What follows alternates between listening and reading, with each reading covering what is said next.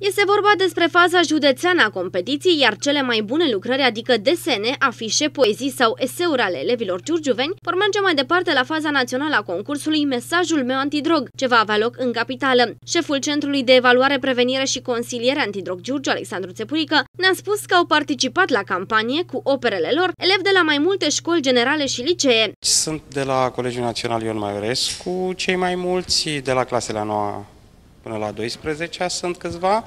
Sunt de la Savin Popescu, adică numărul 6, de la Mircea cel Bătrân numărul 2 și au fost trei copii premiați de la numărul 7. Sunt unele cu mesaj care spun cele, altele mai puțin, dar una peste alta din ele este important că putem să selectăm câteva care vor merge la faza națională. Chiar dacă nu au putut veni toți câștigătorii, festivitatea de premiere a celor mai bune lucrări s-a desfășurat ca la carte, evenimentul fiind găzduit de Episcopia Giurgiu. Eu vă mulțumesc, vă felicit și sper că din lucrările pe care voi le-ați prezentat astăzi de aici, să reușim să facem un cel mai scurt o expoziție undeva în oraș, iar cele care vor primi și avizul publicului, ca să zic așa, vom face o dezbatere publică și vom pune să scrie cei care vor intra în expoziție să scrie părerea, cele mai bune vor fi trimise la București la faza națională a concursului.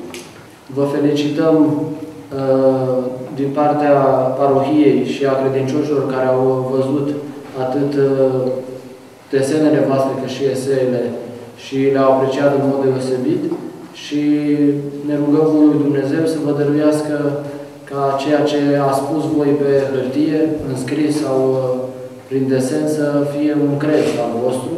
Înainte ca diplomele și premiile să fie acordate, cel mai bun eseu a fost citit chiar de autoarea sa. Drogurile nu sunt un răspuns, nici o alternativă. Sunt doar un adăpost temporar care ne distrug treptat viața. Sunt cea mai vicleană iluzie și de aceea trebuie refuzate și îndepărtate. Viețile ne le putem colora și ea. A urmat premierea celor prezenți. Premiul întâi, elevei Istrate Ana Maria, Colegiul Național de clasa 9. Am uh, desenat un uh, pentru campania anti-drog, desenul meu e acolo și, nu știu, am luat premiul de participare, dar sunt mulțumită. Mulțumită. Ce te-a determinat să participi? Uh, păi pasiunea pentru desen și vreau ca lumea să fie mai bună și să nu mai se drogheze cum fac alți tineri.